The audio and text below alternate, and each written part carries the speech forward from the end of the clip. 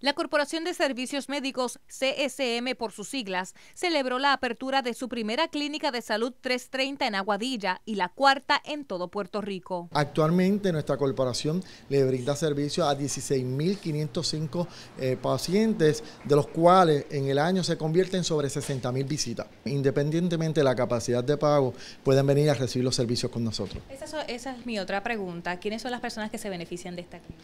Quien se beneficia es toda la población en general, pero también tiene un enfoque en especial. Aquella persona que no tenga plan médico puede venir con nosotros y ahí lo evaluamos para darle un plan de descuento eh, que en, Aguadilla le llamamos Jardín Salud, eh, honor al pueblo, Jardín del Atlántico, y por eso le hemos otorgado ese nombre a este plan de descuento. Pero pueden visitarnos con todos los planes médicos, si no tienen plan médico, tenemos aquí un equipo de trabajo eh, profesional esperando para brindarle el mejor servicio. Según el director ejecutivo de CSM, Armando Legarreta, la localización de las nuevas instalaciones ubicadas en la carretera 107, kilómetro 7, en Aguadilla, se debió tras efectuarse un estudio de necesidad en ese municipio y los pueblos aledaños. Ya tenemos que estar, eh, cumplir con un procedimiento de someter una propuesta al gobierno federal que sea validada por el gobierno federal, donde eh, todos los estados y los territorios participan. No es tan fácil decir, vamos a ubicarnos en tal pueblo, sino hay un proceso de hacer un estudio de necesidad, como lo hicimos aquí en el pueblo de Aguadilla, para validar